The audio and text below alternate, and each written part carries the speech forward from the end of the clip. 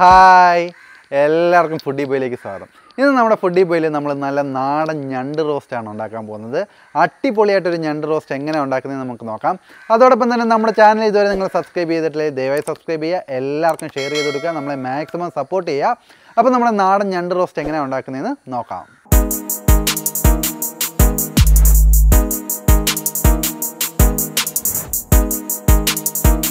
അപ്പോൾ നമ്മൾ അര കിലോ ഞണ്ട് എടുത്തേക്കാണ്. നല്ല ഞണ്ട് നോക്കി വാങ്ങിച്ചിട്ടുണ്ട്. ഇതിപ്പോൾ ഇനിയിപ്പോൾ നമുക്ക് നല്ലോണക്കും കഴുകി വൃത്തിയാക്കി കട്ട് ചെയ്തെടുത്തുകൊണ്ട് വരാം. അപ്പോൾ നമ്മുടെ ഞണ്ട് ദേ നമ്മൾ നല്ലോണക്കും വൃത്തിയാക്കി എടുത്തിട്ടുണ്ട്. എത്ര വലിയ ഞണ്ടാന്ന് പറഞ്ഞാലും ദേ പൊളിച്ച് വരുമ്പോൾ ഇത്രയൊക്കെ കാണത്തുള്ളൂ. അപ്പോൾ നമുക്ക് ഇനിയിപ്പോൾ നമ്മുടെ ഞണ്ട് റോസ്റ്റ് ഉണ്ടാക്കാം. അപ്പോൾ നമ്മുടെ ഞണ്ട് റോസ്റ്റ് ഉണ്ടാക്കാനെ കൊണ്ട് നമുക്ക് ചട്ടി വെച്ച് കൊടുത്തിട്ടുണ്ട്. ചട്ടി ചൂടായി വന്നേക്കാണ്. നമുക്ക് അതിനകത്തോട്ട് വെളിച്ചെണ്ണ ഒഴിച്ചു കൊടുക്കാം. നമുക്കൊരു മൂന്ന് ടേബിൾ സ്പൂൺ വെളിച്ചെണ്ണ ഒഴിച്ചു കൊടുക്കാം. ചട്ടി നല്ല ഉണക്കം ചൂടായി വന്നിട്ടുണ്ട്. ഓക്കെ മൂന്ന് ടേബിൾ സ്പൂൺ എണ്ണ ഒഴിച്ചിട്ടുണ്ട് നമ്മൾ ഇതിനകത്തോട്ട് നമുക്ക് കടുക് ഇട്ട് കൊടുക്കാം നമ്മുടെ. കടുക് ഒരു ടീസ്പൂൺ ഇട്ടാൽ മതി. ഒരുപാടൊന്നും വേണ്ട കടുക്.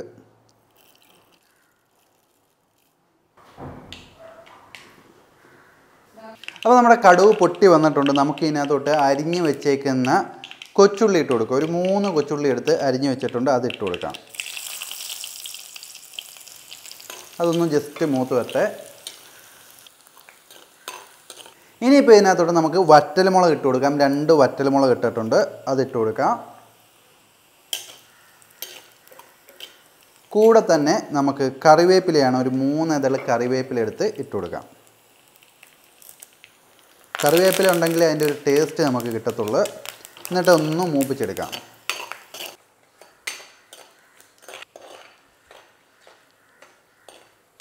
അപ്പോൾ ഇതൊന്ന് മൂത്ത് വന്നിട്ടുണ്ട്. നമുക്ക് ഇതിനകത്തോട്ട് നമ്മുടെ തേങ്ങാക്കൊത്താണ് ഒരു രണ്ട് കഷ്ണം തേങ്ങ എടുത്ത് ചെറുതായിട്ട് സ്പ്ലിറ്റ് ചെയ്തതാണ് അതിട്ട് കൊടുക്കാം. തേങ്ങാക്കൊത്ത് ഇട്ടിട്ട് നല്ലോണം നമുക്കൊന്ന് മൂപ്പിച്ചെടുക്കാം. ഇപ്പോഴേ നമ്മുടെ ഈ ഫ്ലെയിം ഒന്ന് അഡ്ജസ്റ്റ് ചെയ്തോണം? അല്ലെ ഇതെല്ലാം കരിഞ്ഞു പോവും. ഇത് നമ്മുടെ കൊച്ചുള്ളിയാണ്. കൊച്ചുള്ളി ഒരു പത്തെണ്ണം എടുത്തിട്ടുണ്ട്. അത് കീറിയത് നമുക്ക് ഇട്ട് കൊടുക്കാം. നല്ല ടേസ്റ്റ് വരും നമുക്ക്. ഇട്ടിട്ട് നല്ലോണം നമുക്ക് ഇളക്കണം.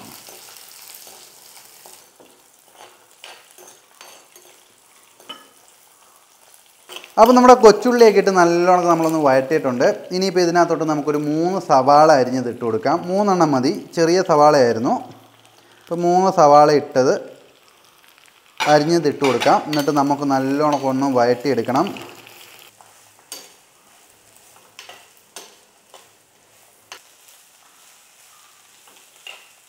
അപ്പോൾ നമ്മുടെ സവാള നമ്മൾ നല്ല രീതിയിൽ വയറ്റിയെടുത്തിട്ടുണ്ട് നല്ല ഉണക്കും വന്നിട്ടുണ്ട്. ഇതിനകത്തോട്ട് നമുക്ക് നമ്മുടെ വെളുത്തുള്ളി ഇഞ്ചിയും കൂടി ചതച്ചത് ഇട്ട് കൊടുക്കാം. വെളുത്തുള്ളി ഒരു ഇരുപത് അല്ലി എടുത്തോ ഇഞ്ചി നല്ലൊരു പീസ് എടുത്തിട്ട് ചതച്ച് ഇട്ട് കൊടുക്കുക. അരിഞ്ഞിട്ടേണ്ട ചതച്ച് തന്നെ ഇടണം നമുക്ക്.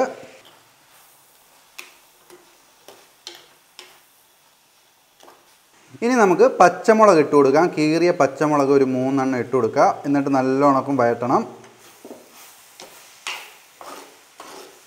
അപ്പോൾ നമ്മുടെ പച്ചമുളകൊക്കെ നമ്മൾ ഇട്ട് നല്ലോണക്കം വഴറ്റി എടുത്തിട്ടുണ്ട് ഇനിയിപ്പോൾ നമുക്ക് ഇതിനകത്തോട്ട് തക്കാളി ഇട്ട് കൊടുക്കാം. തക്കാളി ഒരു രണ്ട് തക്കാളി എടുത്ത് കട്ട് ചെയ്ത് ഇട്ട് കൊടുക്കാം നമുക്ക്. രണ്ടെണ്ണം മതി അല്ലെ ഒരുപാട് പുളിയായിപ്പോവും. അത് നമുക്ക് അത്ര ടേസ്റ്റി ആയിട്ട് തോന്നത്തില്ല. അപ്പോൾ തക്കാളി ഇട്ടിട്ട് ഒന്ന് മിക്സ് ചെയ്തെടുക്കുക അപ്പോൾ നമ്മൾ സവാളയൊക്കെ നല്ലോണമൊക്കെ വയറ്റി എടുത്തിട്ടുണ്ട് ഇതിനകത്തോട്ട് നമ്മുടെ പൊടി ഐറ്റംസ് ഒക്കെ ഇട്ട് കൊടുക്കേണ്ട സമയമായി. ആദ്യമേ നമുക്ക് മഞ്ഞപ്പൊടി ഇട്ട് കൊടുക്കാം. മഞ്ഞപ്പൊടി ഒരു ടീസ്പൂൺ മഞ്ഞപ്പൊടി ഇട്ട് കൊടുത്താൽ മതി. കൂടെ തന്നെ മുളക് പൊടി വേണം. മുളക് പൊടി ഒരു ടേബിൾ സ്പൂൺ മുളക് പൊടി ഇട്ട് കൊടുക്കണം. പിന്നെ മല്ലിപ്പൊടി. മല്ലിപ്പൊടിയും കൂടി നമുക്ക് ഇതിന്റെ കൂട്ടത്തിൽ ഇട്ട് കൊടുക്കാം. മല്ലിപ്പൊടി ഒരു ടീസ്പൂൺ മതി. എന്നിട്ട് ഇതെല്ലാം കൂടി നമുക്കൊന്ന് മിക്സ് ചെയ്യണം. ഫ്ലെയിം ശ്രദ്ധിച്ചോണം. അല്ലെങ്കിൽ ഇത് കരിഞ്ഞു പോകും.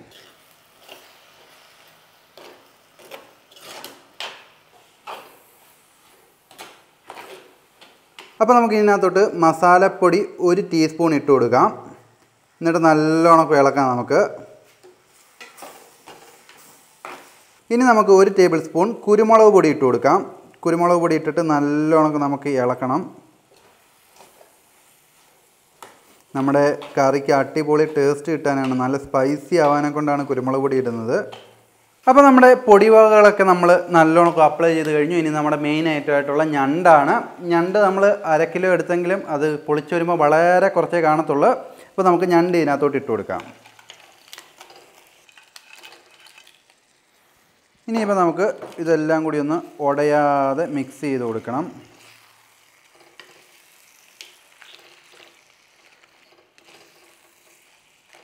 ഇത് ഇളക്കുമ്പോൾ ശ്രദ്ധിച്ചോണം. ഞണ്ട് കുത്തി ഉടച്ച് കളയരുത്. നല്ലോണക്കം മിക്സ് ചെയ്യണം. ജസ്റ്റ് ഒന്ന് മിക്സ് ചെയ്തിട്ട് നമുക്ക് ഇതിനകത്ത് ഒരു ഇച്ചിരി ഓയിൽ ഒഴിച്ചു കൊടുക്കണം. പച്ച വെളിച്ചെണ്ണ ഒഴിച്ചു കൊടുക്കണം. ഏകദേശം ഒരു ടീസ്പൂണോളം എണ്ണ മതി. ഒഴിച്ചിട്ട് നല്ലോണക്കം മിക്സ് ചെയ്യുക.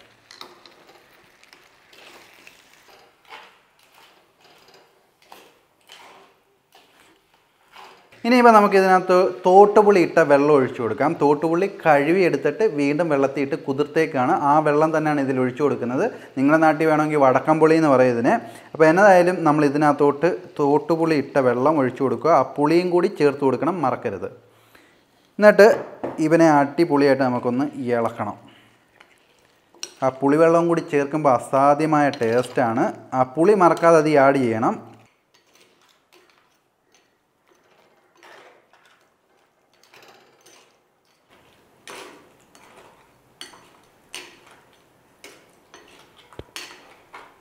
അപ്പോൾ നമ്മൾ പുളിവെള്ളമൊക്കെ ചേർത്ത് നല്ലോണം എന്തേ നമ്മുടെ ഞണ്ടിനെ വേവിക്കാൻ തുടങ്ങുകയാണ്.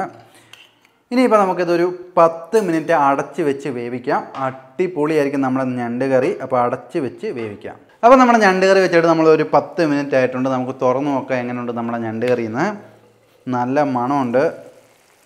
ആ അടിപൊളിയായിട്ട് വന്നിട്ടുണ്ട്. നല്ല വറ്റി വന്നിട്ടുണ്ട്. നമുക്കൊന്ന് ഇളക്കി നോക്കാം. അടിക്കൊന്നും പിടിച്ചിട്ടില്ലെന്ന് ഉറപ്പ് വരുത്തണം. അടിപൊളിയായിട്ട് വെന്ത് വന്നിട്ടുണ്ട്.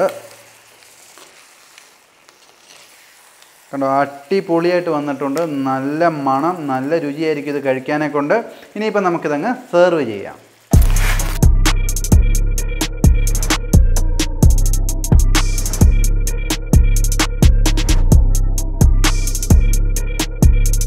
അപ്പോൾ നമ്മുടെ ഞണ്ട് റോസ്റ്റ് നമ്മൾ അടിപൊളിയായിട്ട് ഉണ്ടാക്കിയെടുത്തേക്കാണ്. നമുക്കൊന്ന് ടേസ്റ്റ് ചെയ്ത് നോക്കാം നമ്മുടെ ഞണ്ട് റോസ്റ്റ് എങ്ങനെ ഉണ്ടെന്ന് അടിപൊളിയായിരിക്കും എന്ന് വിശ്വസിക്കുന്നു.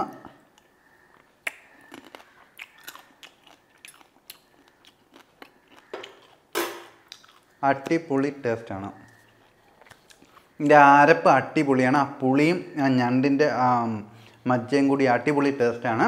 നിങ്ങളും ട്രൈ ചെയ്ത് നോക്കുക എങ്ങനെ ഉണ്ടായിരുന്നു നമ്മുടെ കമന്റ് ബോക്സിൽ കമന്റ് ചെയ്യുക. അതോടൊപ്പം തന്നെ നമ്മുടെ ചാനൽ ഇതുവരെ നിങ്ങൾ സബ്സ്ക്രൈബ് ചെയ്തിട്ടില്ലെങ്കിൽ മറക്കാതെ സബ്സ്ക്രൈബ് ചെയ്യുക. എല്ലാവർക്കും ഷെയർ ചെയ്ത് കൊടുക്കുക. നമ്മളെ മാക്സിമം സപ്പോർട്ട് ചെയ്യുക. ഇനിയിപ്പോൾ ഒരു അടിപൊളി വീഡിയോ വരുന്നുണ്ട് വരെ ബൈ ബൈ